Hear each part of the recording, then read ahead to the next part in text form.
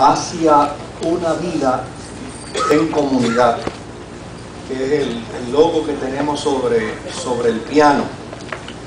Y desde luego el propósito del mismo, eh, de crear el lema hacia una vida de comunidad, fue, número uno, crear un estado de conciencia comunitaria en todos los ministerios de la iglesia. ¿Por qué razón?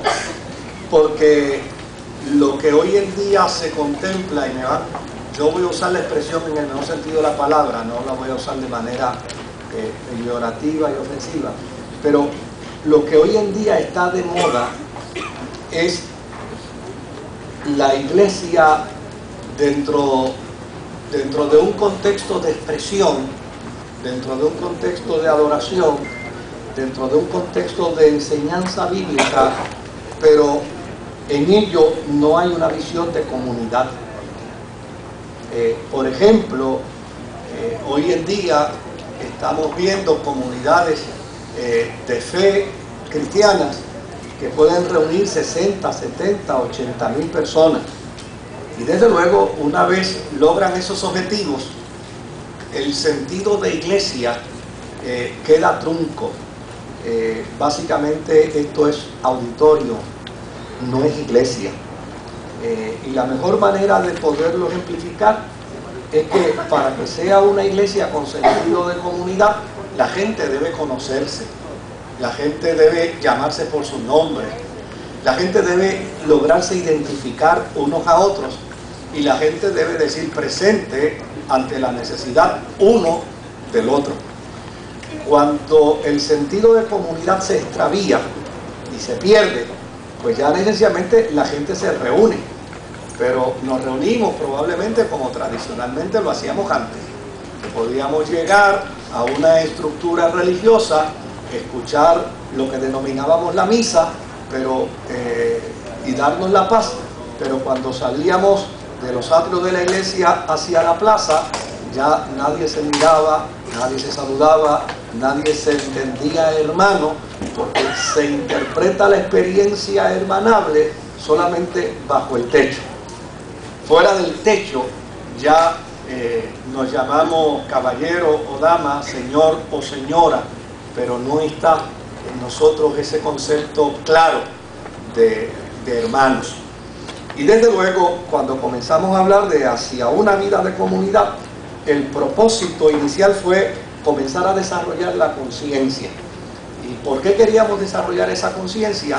Bueno, porque obviamente somos una iglesia en crecimiento y en ocasiones eh, estamos viendo que la gente en lugar de llamarse hermanos, eh, ya nos llamábamos caballeros, o nos llamábamos damas, o nos llamábamos señor o señora pero eh, pueden ser términos muy respetuosos y pueden ser términos muy diferentes, pero esos términos hacen perder la esencia de la comunidad eclesial, porque en la iglesia todos somos hermanos y hermanas, indistintamente tengamos títulos, indistintamente tengamos unos reconocimientos, indistintamente haya unos señalamientos eh, sobre, sobre lo que hagamos, lo que desarrollemos.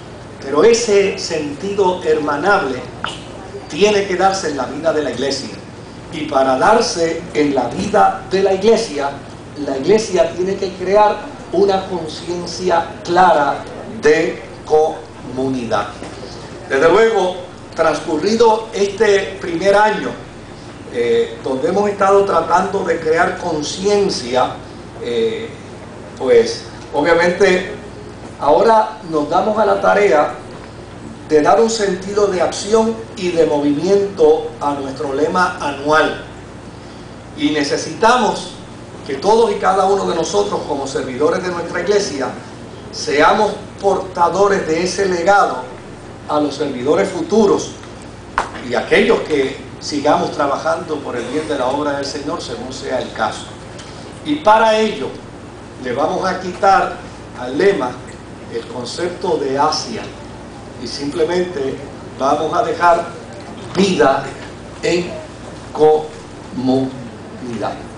O sea, ¿por qué quitamos hacia una y dejamos solo vida en comunidad para comenzar a crear en toda la iglesia y en todo el ministerio una conciencia de movimiento, una conciencia de acción, porque cuando hablamos de hacia una vida, pues estamos hablando de aquella expresión del apóstol San Pablo, no es que ya lo haya alcanzado, ¿verdad?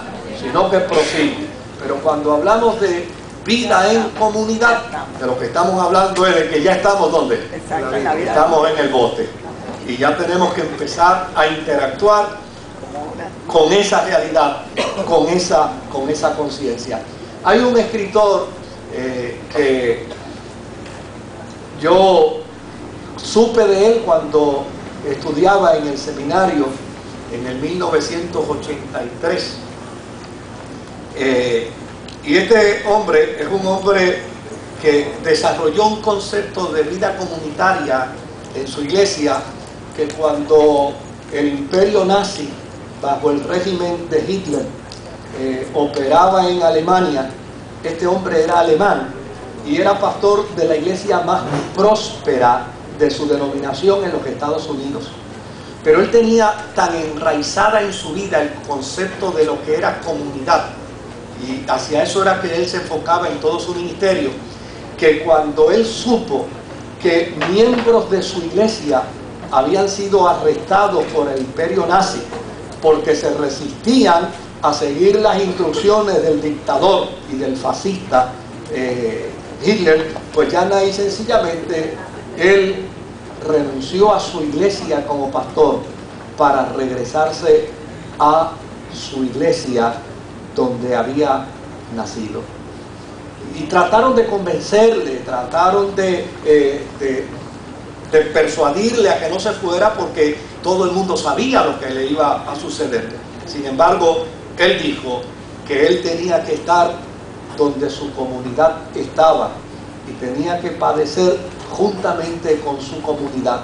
Y de hecho, llegando al aeropuerto de Alemania, llegando al aeropuerto fue arrestado y desapareció.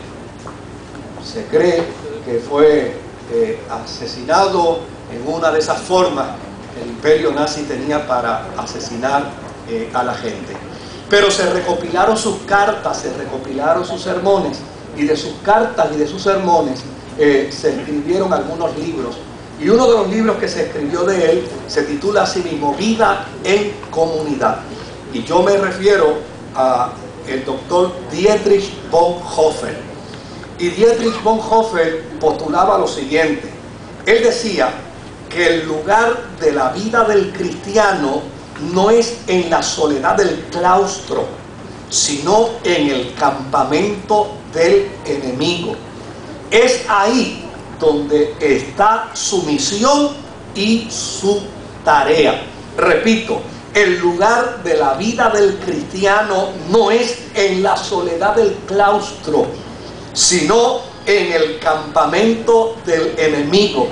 Y es ahí donde está su misión y su tarea.